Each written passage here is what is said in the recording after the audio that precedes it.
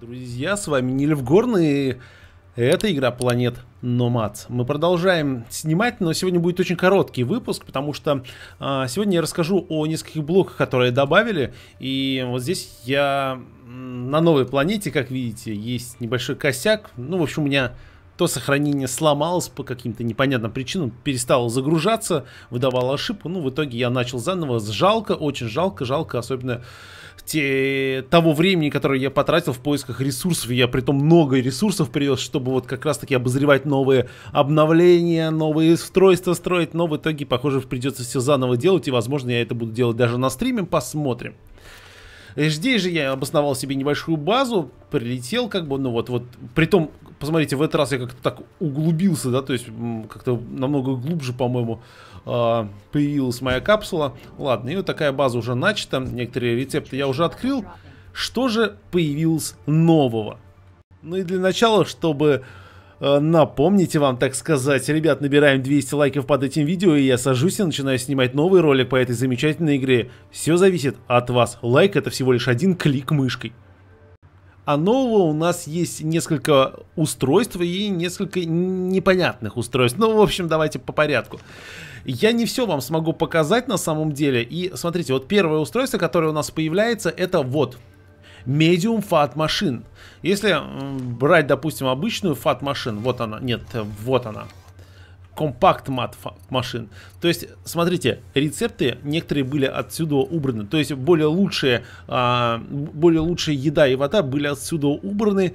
И я так понимаю, это сделано было из-за того, что теперь это как бы компактный фат-машин, то есть а, фуд-машин, даже, наверное, а, машина еды, она теперь типа как бы для установки на транспорт, а вот эта штуковина вот таких вот размеров, как видите, которую я, к сожалению, не смогу собрать, потому что, посмотрите, для нее нужно а, второго уровня, вот а, второго уровня, ну что это такое? А, кстати, я думал, разобрав капсулу, я получу эти устройства, но, к сожалению, я их не получаю. То есть мне нужны вот эти вот второго уровня, но здесь нужны, нужен кобальт, и это значит нужно строить устройство и ехать, но как бы я не хочу в данный момент, потому что, в принципе, не, так существ, не такой существенный блок, чтобы прям на нем акцентировать внимание. Так вот, в итоге, э, что же здесь он нам дает? Скорее всего, он даст нам то, что мы сможем как раз-таки делать более продвинутые блоки, точнее, более продвинутую еду.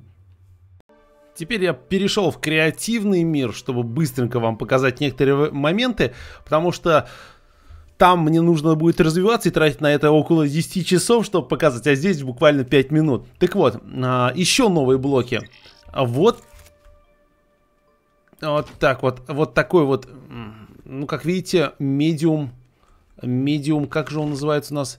А, Medium Refinery. Есть у нас вот Medium 3D принтер. Где он? Вот так вот давайте возьмем. Medium 3D принтер. Вот, пожалуйста.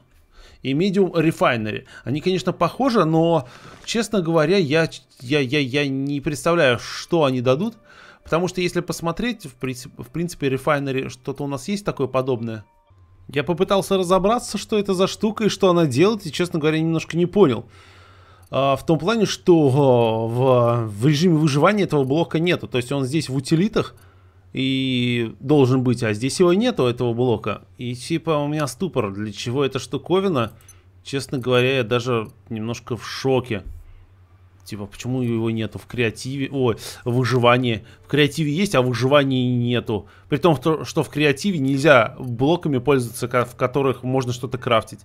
Странно. Но если я правильно понял и правильно перевел, то очищает сырье до чистых элементов, необходимых для передовых источников энергии для питания других блоков. То есть вся фишка в том, что, похоже, мы теперь, ну, не мы теперь, потому что в выживании пока что нету этого блока, вот этого устройства, но в, в дальнейшем появится вот это устройство, в котором мы будем обрабатывать уран или там, да, э, для того, чтобы питать вот тот генератор урановый, и это довольно-таки интересно. Также еще появился вот такой вот заборчик со входом, с вход, для входа труб, то есть конвейерных труб, почему-то здесь они именно конвейеры названы, не знаю почему, почему, потому что на конвейер, они не очень похожи на какие-то трубы, да, но вот теперь вот так вот можно э, подсоединять, то есть если у вас снаружи есть какие-то, не знаю, какое-то помещение или еще что-то, а может в дальнейшем можно будет подключать просто, знаете, подъехал э, машиной, да, то есть каким-нибудь переходником подключил к машине, и все ресурсы, допустим, перекачались в вашу систему, это было бы вообще круто, потому что перегружать по несколько ресурсов довольно-таки накладно, ну, муторно, как минимум. И еще два блока были добавлены. Это вот такой вот блок. Сейчас давайте его правильно установим. Вот так вот. И вот такой вот блок. Давайте его тоже правильно установим. Вот так вот. Так. Почему непонятно? Да потому что я немножко не понял применения этих блоков. Ну, давайте вот поставим здесь, допустим, плиту. И, а, да, мы можем его крутить. Да, ей, круто-то как. Мы можем на него встать и, не знаю, вот так вот его стараться раскрутить, так вот таким вот просто... И да, он теперь у нас крутится. То есть, понимаете, это шарнир такой, на котором, ну, так сказать, подшипник, на котором крутится та или иная часть, смотря к чему что присоединено. Для чего нужно использовать? Для чего можно использовать? Я не знаю.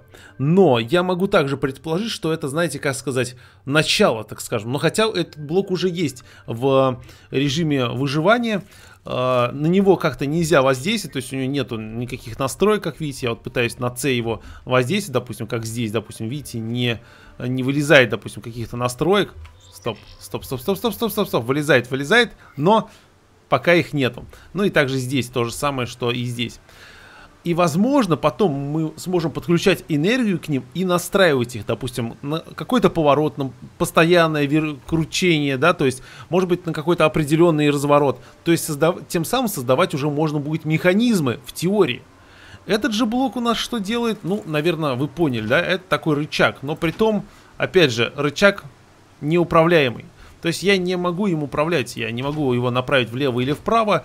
А, как на картинке показали, они сделали тележку, то есть, к примеру, построили автомобиль и к ней прицепили тележку.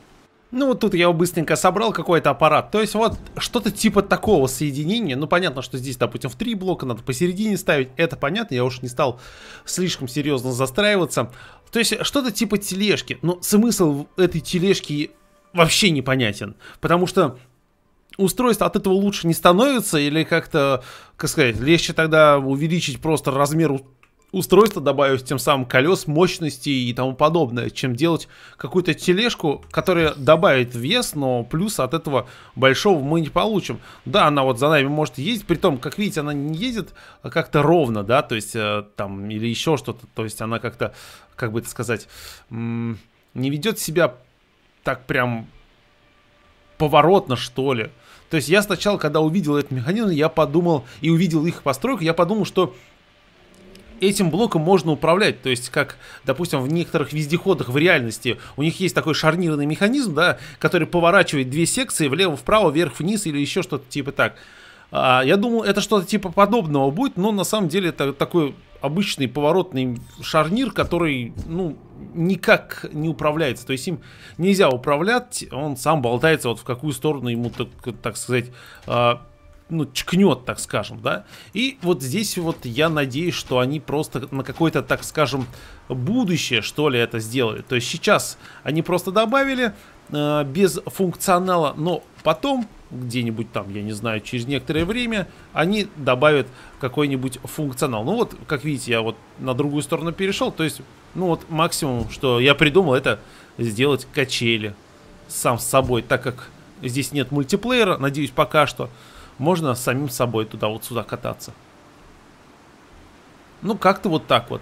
Блоки прикольные, они, как бы это сказать, они дают фантазию, что можно с ними сделать и какой э, функционал с ними можно будет потом э, обустроить, если, конечно, они их промодернизируют. Ну, каким-либо образом, то есть дадут э, настройки к этим блокам. Надеюсь, я вам открыл некоторые глаза, немножко глаза на это обновление, которое вышло. Ну и всем всего, удачи и пока!